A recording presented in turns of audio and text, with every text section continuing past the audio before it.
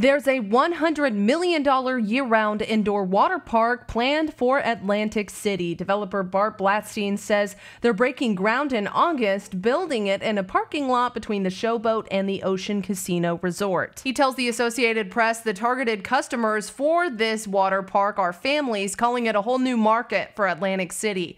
Katie Johnston for CBS Philly.